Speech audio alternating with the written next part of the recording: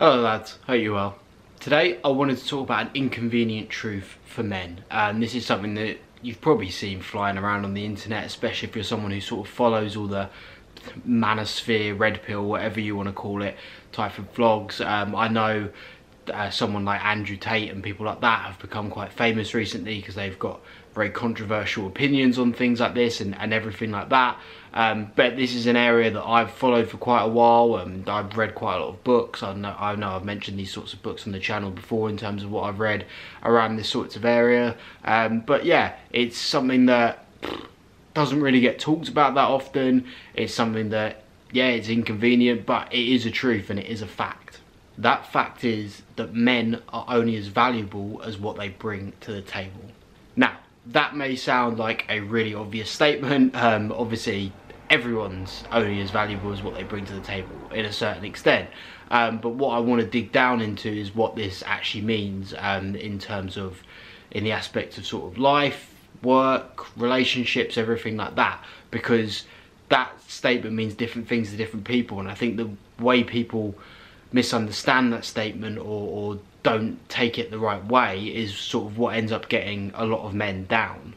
When most people, guys, hear that statement, the thing they'll come back with is, oh, what, so I have to be really rich, or oh, what, I have to be a, a supermodel, or oh, I have to, I don't know, I have to be good at everything, I have to be a professional athlete, or oh, what, so no one will like me if I'm just normal, and like, those are just silly responses in my opinion. Like, I understand why people do think them, but that's not that's not what it means at all. Um, like you, you would have friends as a bloke, you'd have friends that aren't yeah super rich lawyers, whatever, blah blah blah. Like I'm not saying that that you have to be at that extreme end to bring any value to the table, but equally, I'd like to hope you don't have a friend who just sort of does nothing with their life, adds nothing to the friendship group, and sort of when he comes on a night out, you're almost a bit like, what are you doing here? Like you wouldn't have a friend like that either. So providing value and bringing value to the table doesn't mean that you have to provide everything, but it means that you have to provide something. I'll start off by talking about it in terms of friendship groups rather than dating. We'll go on to like dating in a minute, but I think friendship groups um, is is is more important. Um, I'll always I'll always stand by the fact that it doesn't matter who you're married to or whatever. If you haven't got a good set of mates, you're never going to be particularly happy, in my opinion. Um, so in terms of bringing stuff to the friendship group, like I said, like I'm not saying all your mates are going to be sort of superstar high performers or anything like that, but at the same time, they're your friends for a reason. Like you, you get on with them for a reason. Like there's, I'm sure you've met hundreds, maybe thousands of men that you've been like, yeah, they're nice guy, they're cool, whatever, but they're they're not your mate. They don't they don't sort of provide any value to you.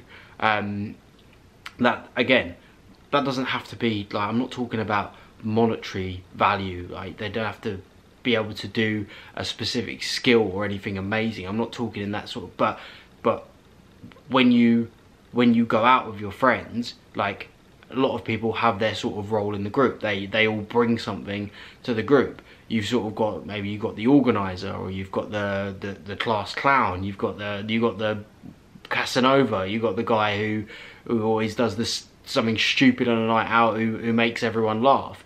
But you built that bond through sort of all all being yourselves. Like in my group I don't really know what I'd classify myself. I'm probably probably closer to the guy who does something stupid on a night out than anyone else. Like I'm the one who, as soon as he has a, had a beer, has absolutely no filter on on what he says. I'm also a pretty decent organizer. Like I'm I'm always happy to to put a night out together. But if I sort of turned up one day and tried to play a role in the group or something like that that has never been what I've done before, my mates would be like, "What, what you what you doing?" Like that's like like you're you're our mate. You don't need to start doing all this all this other stuff. But likewise, if I just started turning up to nights out, sitting there saying nothing, not talking to anyone, drinking tap water all night, it's be like, why did you come? Like, but you're you're adding absolutely no value to this friendship group. Even if it wasn't a night out, even if we just met up when when I kicked a football around or threw a rugby ball around the park, or just went for a coffee and had a catch up if I just sat there and didn't say anything, they'd be a bit like, well, what, what, what was the point in you coming? You add absolutely no value to the friendship group. Like, men just aren't like that. Men, realistically, aren't going to be like, what, what's up? Like, they're not going to often try and drag you and get you in involved. If you want to be involved, you have to push yourself forward and get get involved in what's going on. Now, to bring it to dating, look, um, this isn't a dating YouTube channel. I'm not like a dating coach or anything like that, obviously.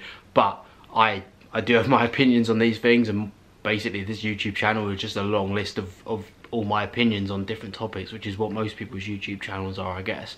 And I think the reason it's so clear in dating is because you can completely tell the difference between people who understand this this fact of you need to bring something to the table as a man to have any value or not.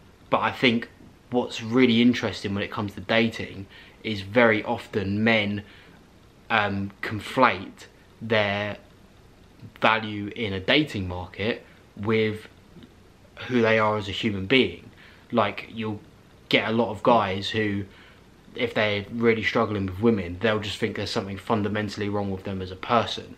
They'll think, oh, like, oh, yeah, I'm just, I'm just, I'm just not worth anything as a bloke, which obviously isn't true at all. Like, if if you're happy being single and you've got your own thing going on, of course, of course, you're just as valuable as anyone else, whether whether you're dating or not.